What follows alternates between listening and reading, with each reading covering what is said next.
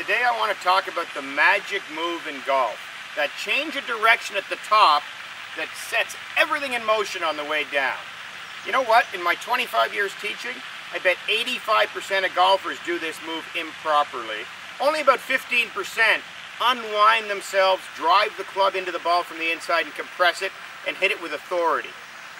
So what's the problem? Why do 85% of golfers struggle with this? Well, I mean, the general notion is if you do anything wrong at the start of the swing, or during your takeaway, or as you move up to the top, you can't move down properly. So the golf swing's like a series of building blocks, building up to the top and then unwinding down. The unwinding word is the secret, right? I mean, what you're supposed to do in golf is wind the body up as the arms swing the club up over your back shoulder. This is the way it works. The body sort of winds from the top the upper body turns over the lower body. And John Jacobs, great European coach from years ago, used to say that you wind the upper body above a resisting lower body. We need a little bit of resistance in this back leg as we wind ourselves up into a proper position in the backswing.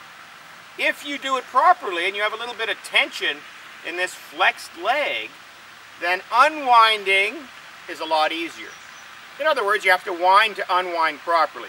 Most golfers either shift a little bit, or they lift up, or they over-rotate and, and get into a poor position to lead from. So my general statement, you wind up from the top down, we unwind from the bottom up. So the lower body kind of gets us unwinding. Now what starts the downswing? What starts that move? A lot of people ask that question. I don't even really want to answer that question. I just know that when I go to throw a ball, my feet, my legs, my hips, all of those things lead my forward motion. Hogan used to talk about the hips. Nicklaus used to talk about rolling the ankles a little bit.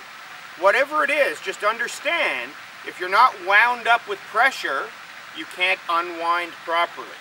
All right? One thing I'd like to leave you with. Think of the idea of your legs kind of being syrupy or as your oily shock absorbers. And what they're doing is they're guiding you forward. So your legs are dynamic, your lower body is unwinding out of the pressure, and the club is guided to the inside. In our next few videos, we're going to talk about what the arms do in the downswing, what the head does in the downswing, what the legs do in the downswing. But just understand, wind up, then unwind.